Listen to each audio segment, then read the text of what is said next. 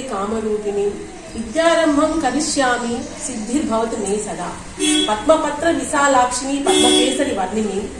నిత్యం పద్మాలయాం దేవి సామాం పాసు సరస్వతి. హిందూ మతంలోని ముఖ్యమైన దేవతామూర్తులలో సరస్వతిని చదువు తల్లిగా ఆరాధిస్తారు. మాఘ శుక్ల పంచమి వసంత పంచమి శ్రీ పంచమి మదన పంచమి అనే పేర్లతో పిలుస్తారు. జ్ఞానం మనిషిని మనీషిగా తీర్చిదిద్దుతుంది. జ్ఞానం విద్య చదువు అన్ని పర్యాయ పదాలు. విద్యకు ఆది దేవత సరస్వతి దేవి వసంత పంచమి రోజే జన్మించిందని భావిస్తారు. అందుకే ఈ రోజున సరస్వతిని ప్రత్యేకంగా పూజిస్తారు. అంతేకాదు అమృతం కోసం దేవదానవులు పాలకడల్ని చిలుకుతుండగా ఈ రోజునే శ్రీ మహాలక్ష్మి ఆవిర్భవించిందని అందుకే దీనిని మదన పంచమి కూడా పేర్కొంటారు. యాదేవి సర్వభూతేషు విద్యారూపేణ సంస్థిత. సకల విద్యాస్వరూపిణి సరస్వతిగా ఆవిర్భవించిన పరమ పావన తిథి ఈ రోజే. బ్రహ్మవైవర్త పురాణం సహా పలు పురాణాలు ఈ రోజున సరస్వతి దేవుని అర్చించాలని పేర్కొంటున్నాయి. సమాన దర్శిని ప్రేక్షకులందరికీ వసంత పంచమి శుభాకాంక్షలు. ఈ రోజు మీ ఎన్నో రోజుల మీరు ఆదరిస్తున్న జగదీశ్వరి స్కూల్ ఆఫ్ లెర్నింగ్ వారు శ్రీ పంచమి వసంత పంచమి పూజ ఇప్పుడే జరుపుకున్నారు. మాతో పాటుగా శ్రీహర్ష గారు పండితులు కూడా ఉన్నారు. మనకి ఎన్నో అనుమానాలు అంటే ఎన్నో రకాల ప్రశ్నలు మన ఎన్నో మైండ్లో వస్తుంటాయి ఒక పూజ అనేది జరుపుకున్నప్పుడు. అసలు ఈ శ్రీ పంచమి వసంత పంచమి ఇన్ని రకాల పేర్లు ఎందుకు వచ్చాయి? అసలు ఈ సరస్వతి దేవుని ఎందుకు ఈ స్కూళ్ళలో పెద్ద పండుగలాగా చేసుకుంటారు సరస్వతి పూజని? ఇలాంటి ప్రశ్నలు నాలో అయితే ఎన్నో ఉన్నాయి. అలాంటి మన ప్రశ్నల్ని అన్నిటినీ ఆ సమాధానాలు చెప్పడం కోసం శ్రీహర్ష గారు తన సమయం కేటాయించారు. సో నమస్తే అండి శ్రీహర్ష గారు. ముందుగా మీకు మాకు చాలా ఏమంటారు మీరు ఎంత టైం కేటాయించి మాకు పూజ అంత బాగా జరిపించారు మా పిల్లల కోసం మా స్కూల్ కోసం. సంతోషం అండి. సో మాకు ఎప్పటి నుంచో మా మైండ్లో కొన్ని ప్రశ్నలు నడుస్తున్నాయి. అంటే దానికి ఎలా తీర్చుకోవాలో తెలియక ఇప్పుడు ఫస్ట్ ఆఫ్ ఆల్ ఈ సరస్వతి దేవిని ఇన్ని రకాలుగా శ్రీ పంచమని విన్నాము వసంత పంచమని విన్నాము. సో ఏంటి ఆ ఏది డిఫరెన్స్ ఏముంది సార్? వ్యత్యాసం ఏముంది? సరస్వతి నమస్తుభ్యం వరదే కామరూపిణి విద్యారంభం కరిష్యామి సిద్ధిర్భవతు మే సదా. ఓం శ్రీ మహాసరస్వత్యై నమో నమ. సరస్వతి దేవి మనందరికీ తెలిసిన దేవి విద్యకు విద్యకు అధిపతియే ఈ సరస్వతి దేవి. చదువుల తల్లి అని మనందరం పిలుస్తుంటాం. అయితే ఈ సరస్వతి దేవి ఎందుకు అసలు శ్రీ పంచమి అంటే శ్రీ అంటే అమ్మవారికి శ్రీ అనే నామకరణం. అమ్మవారు ఏ అమ్మవారినైనా శ్రీ అనే పిలుచుకుంటాం మనం. కాబట్టి అందుకే శ్రీ పంచమి పంచమి అనేది అమ్మవారు మూలా నక్షత్రంలో జన్మించింది సరస్వతి దేవి నక్షత్రం మూలా నక్షత్రం. కాబట్టి ఈ మూలా నక్షత్రం ప్రతి నెలలో వచ్చిన దాని ప్రకారంగా మనం చేసుకోలేము కాబట్టి శ్రీ పంచమి అనేది చాలా విశిష్ట పొందింది. విశిష్టను పొందింది.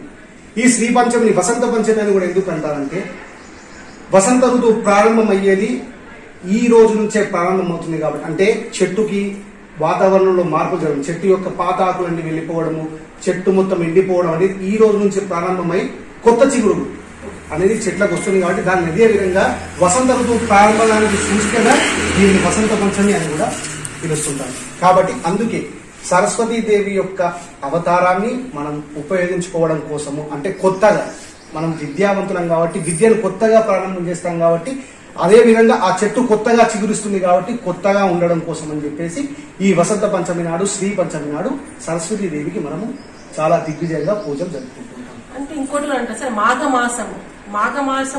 ఆరంభమైన ఐదవ రోజు అని ప్రత్యేకంగా అంటే ఈ వసంత పంచమి అంటే ఈ సరస్వదేవి పుట్టిన రోజు అని కూడా అంటారు. అది నిజమే అంటారా? పుట్టిన రోజు అనేనా? దేవతలందరికీ పుట్టినరోజు అనేది జరగదు. వసంత పంచ ఇప్పుడు ఈ పంచమి నాడు అమ్మవారికి ఈ విద్య యొక్క సర్వాధికారాలు అంటే హక్కు. అలాంటి హక్కులు అమ్మవారికి లభించాయి కాబట్టి శ్రీ పంచమి అని జరుగుతాయి అమ్మవార్లకు కానీ స్వామి వాళ్ళకి దేవతలందరికీ దేవుళ్ళందరికీ పుట్టినరోజు జన్మదినాలు అనేవి ఉండవు. అయితే అమ్మవారికి హక్కులు అనేకమైన హక్కులు ఏంటి? విద్యకు సంబ ఇలాంటివంటే విద్యకు సంబంధించిన హక్కులు అన్ని అమ్మవారికి వారి ప్రాప్తి వచ్చాయి కాబట్టి ఈ వసంత పంచమి మనం జరుపుకుంటాం. కాబట్టి జన్మదినం కాదు.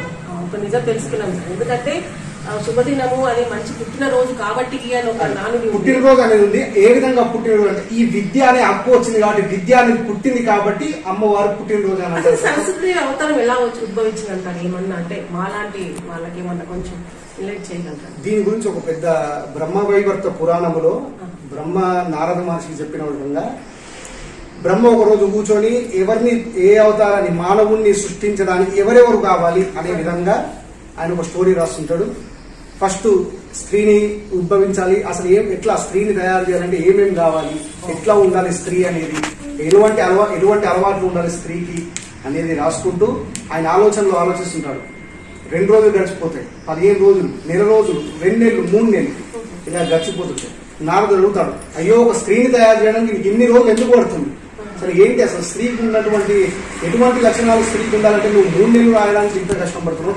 ఒక పురుషుని తయారు చేయాలంటే నీకు ఐదు రోజుల్లో పని అయిపోయింది అదే స్త్రీని తయారు చేయాలంటే నువ్వు రెండు మూడు నెలల టైమ్స్ ఏముంది స్త్రీలో అంత గనము అంటే స్త్రీకి ఎంత ఓపిక ఉండాలి స్త్రీ సంసారాన్ని ఎలా తీసుకొని ఎలా జరపాలి ఎలా ఆలోచన చేయాలి అత్తమామల్ని ఎలా ఆలోచన ఎలా చూసుకోవాలి తల్లిదండ్రులు ఎలా చూసుకోవాలి రెండు కుటుంబాలను చూసుకోవాలంటే స్త్రీ ఎలా ఎలా ఉండాలి అనేది నారదునికి బ్రహ్మ వైవర్త పురాణంలో బ్రహ్మగారు చెప్పిన విషయం ఇది. ఎలా అట్లా ఆరు నెలలు టైం తీసుకున్న స్త్రీ ఎలా ఉద్భవించాలి అంటే అలా సరస్వతి దేవి శాంత స్వరూపిణిగా స్త్రీ ఎప్పుడూ శాంత స్వరూపిణిగా ఉండాలని చెప్పేసి బ్రహ్మదేవుడు సరస్వతి దేవుడు సృష్టించడం జరిగింది. అందుకే ప్రతి అంటే అంత గొప్పగా ఆలోచించిన బ్రహ్మదేవుడికి అంత టైం టైం పట్టింది. స్త్రీ యొక్క. ప్రాముఖ్యత అలాంటిది కాబట్టి బ్రహ్మదేవుడికి చాలా టైం పట్టింది. స్త్రీని ఉద్భవించడానికి ఉద్భవించ- ఉద్భవింపజేయడానికి అంత టైం తీసుకున్నాడు బ్రహ్మ. సరే మరి అంత టైం తీసుకొని అంటే మీరు శాంతి స్వరూపునిగా ఉండాలి అని అలా దుర్గమానం తీసుకుంటే మళ్ళీ శక్తి స్వరూపుని ప్రతి ప్రతి విషయంలో కూడా శాంతం పనికిరాదు కదా విషయాలలో. శాంతం పనికిరాదు కాబట్టి స్త్రీ శాంత స్వరూపం ఎప్పుడు శాంతంగా ఉండాలో అప్పుడే శాంతంగా ఉండాలి ఎప్పుడు కోపంగా క్రోధంగా ఉండాలో ఆ టైంలో క్రోధంగా ఉండాలని చెప్పేసి దుర్గా అమ్మవారు కానివ్వండి కాళికా అమ్మవారు కానివ్వండి ఉద్భవించడం జరిగింది అయితే మీరు అన్న ఈ బ్రహ్మ వైవర్త పురాణం. వైవర్త పురాణంలోనే అంటే కొంచెం కొంచెం సార్ నాకు ఇంతగా నాలెడ్జ్ లేదు అంటే ఏమన్నారంటే బ్రహ్మ మనుషులు సృష్టించాక వాళ్ళకి వాక్కు జ్ఞానం అన్నది లేకుండా పోయింది. అందుకే వాళ్ళకి ఆ వాక్కు జ్ఞానం ఇవ్వడం కోసం అంటూ ఒక శక్తిని ఇవ్వడం కోసం అని చెప్పేసి జరిగింది. సో అప్పటి నుంచి అందుకే సరస్వతి దేవిని వాగ్దేవి అని పిలవడం. ఎందుకంటే ఆ వాక్కు వాక్కు సంబంధించిన దేవి కాబట్టి సరస్వతి దేవిని వాగ్దేవి అని పిలవడం కూడా ఆ రోజు నుంచే ప్రారంభమైంది. అయితే సార్ ఎలా మాట్లాడుకున్నాము మరి శాంత స్వరూపుని అని ఒక తెల్ల వస్త్రం అంటే చిహ్నం లాగా అలాగే అవన్నీ ఒక దాంట్లో జంజం పట్టుకుంటున్నారా లేదా ఈన పట్టుకొని ఉంది. దాంట్లో ఏమైనా ఉందంటారా? జపమాల వీణ పుస్తకము. ఇవి మూడు అమ్మవారి చేతులలో కనిపించే ముఖ్యంగా కనిపించే అమ్మవారి చేతిలో ముఖ్యంగా కనిపించే వస్తువులు అనమాట వీణ దేనికి? సంగీతం. సంగీతానికి కూడా మనకు ఒక సామెత ఉంది. సంగీతానికి చనిపోయిన వారు కూడా బ్రతికి వచ్చే అవకాశాలు ఉన్నాయని చెప్పేసి సంగీతానికి కూడా అంత ప్రాముఖ్యత ఉంది అని చెప్పేసి మనకు ఒక సామెత ఉంది. కాబట్టి ఆ సంగీతానికి సంబంధించిన దేవిని కూడా సరస్వతీ దేవిగానే మనం పూజిస్తాం. అందుకనే సరస్వతీ దేవి చేతిలో వీణ ఉంటుంది. జపమాల. మాలాంటి బ్రాహ్మణులు అయ్యగారులు పూజలు చేసేటప్పుడు తప్పకుండా మొట్టమొదటిగా పూజ చేసే దేవుడు ఎవరంటే సరస్వతి దేవి అందుకే ఆమె బ్రాహ్మణులకు కూడా అయ్యగారులకు కూడా దేవతే. కాబట్టి ఒక చిన్నపిల్లలని కాదు ప్రతి ఒక్కరికి విద్య చాలా ముఖ్యమైన అంశము టీచర్లు ఎంత చెప్పినా పిల్లలకు ఎంత చెప్పినా వాళ్ళు కూడా నేర్చుకోవాల్సిందే చెప్పాల్సిందే. టీచర్లు కూడా నేర్చుకొని పిల్లలకు చెప్పాల్సిందే.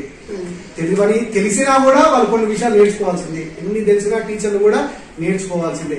అందుకనే బ్రాహ్మణులు కూడా ఇన్ని విషయాలు నేను మాట్లాడుతున్నా ఇన్ని విషయాలు నేను చెప్తున్నా కూడా నేను కూడా నేర్చుకోవాల్సింది. రేపు పొద్దున నాకు ఇంకా తెలియని విషయాలు ఉంటాయి అవి కూడా నేను నేర్చుకోవాల్సింది. కాబట్టి అన్నిటికంటే ప్రథమమైన దేవత కాబట్టి ఆమె చేతులు ఆ జన్మాల బ్రాహ్మణులకు కూడా తెలియని విషయాలు బ్రాహ్మణులకు ఉండవు అని చెప్పేసి అందరి అభిప్రాయం బ్రాహ్మణులకు కూడా తెలియని విషయాలు చాలా ఉంటాయి.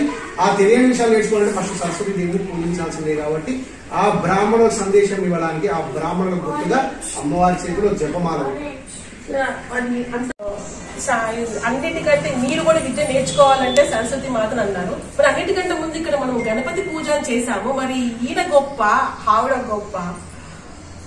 ఈ ప్రశ్న అందరి మధ్యలో ఉండేది. ఇక్కడ ఎవ్వరు ఏ దేవుడు గొప్ప ఏ దేవత గొప్ప అనే విషయం లేదు. ఇద్దరు దేవులను మనం పూజిస్తాం. మనం అనుకున్నట్టు అయ్యో హనుమంతుడు గొప్పన రాముడు గొప్పన సీత గొప్పన సరస్వతి దేవి గొప్పన గణపతి గొప్పన అనేది ఏం లేదు.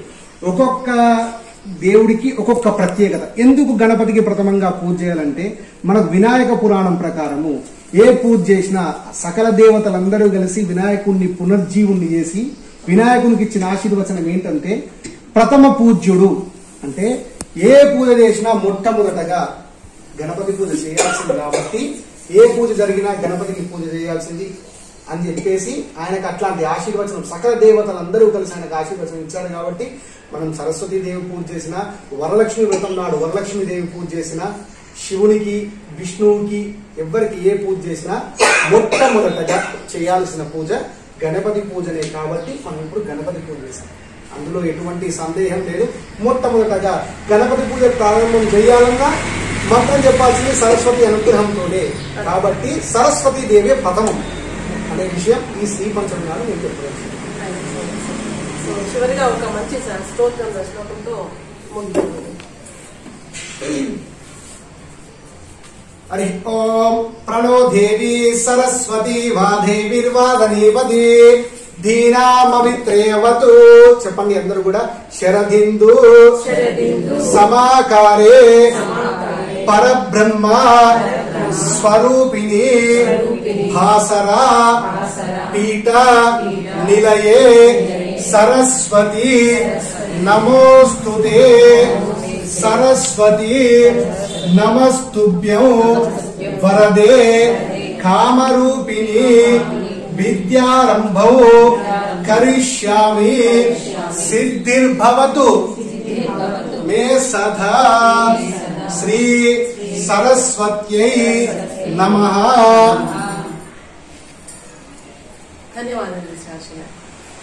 అందరికి కూడా ప్రేక్షకులందరికీ శ్రీ పంచమి వసంత పంచమి శుభాకాంక్షలు తెలియజేసుకుంటూ నమస్కారం. Thank you sir